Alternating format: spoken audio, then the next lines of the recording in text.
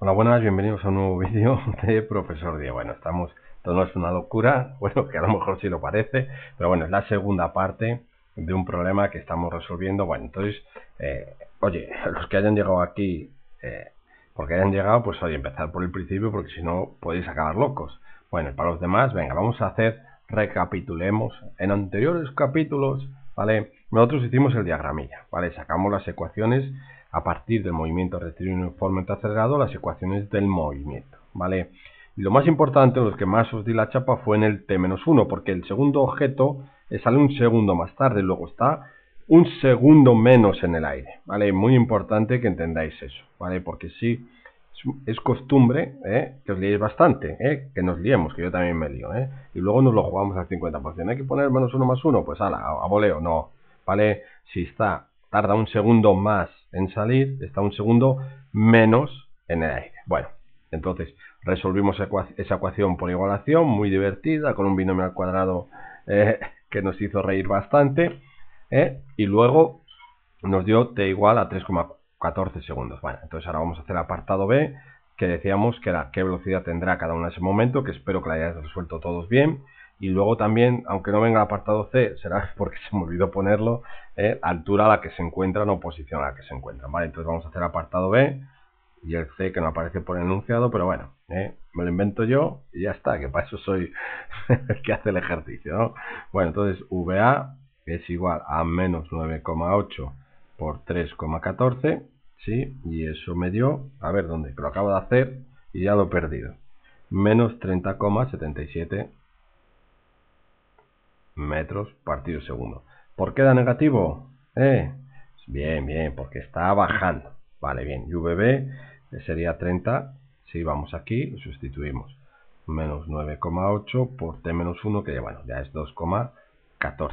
Vale, y eso da 9,03, me dio, a ver, metros partido segundo. ¿Por qué da positivo? Porque el objeto B está subiendo. Bueno, una cosa importante que he puesto aquí es que el objeto A está a 3,14 segundos. ¿eh?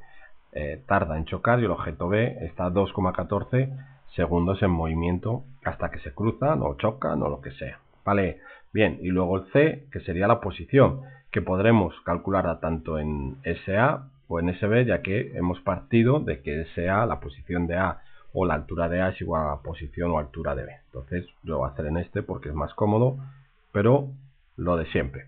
Que alguien lo quiera hacer en este, que lo haga y luego me deja un mensaje. Sergio, he hecho S sub B y me da lo mismo. Así me facilitáis el trabajillo. O Sergio, he hecho S sub B y no me da lo mismo. Bueno, pues ya hablamos y miramos a ver por qué sí o por qué no. A lo mejor soy yo el que se ha confundido, ¿eh? que no es la primera vez. 90 menos 4,9, ni la última, por el tiempo al cuadrado.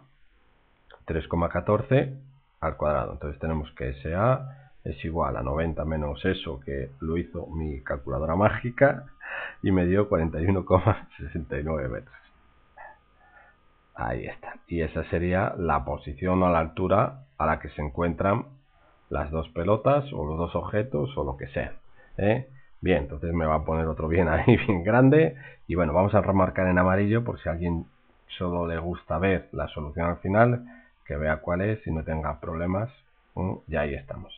Bien entendido, bueno, este, este, este vídeo, este apartado, es facilillo. ¿eh? El importante es el anterior y quiero que trabajéis. Bueno, pues venga, hacer clic en el PDF para ver el resultado, ¿vale? Del siguiente vídeo o seguir aquí de esta reproducción, lo que preferáis, ¿vale? Y ya sabéis, darle al botoncillo de me gusta, ¿eh? que para mí es un gran apoyo, ¿sí?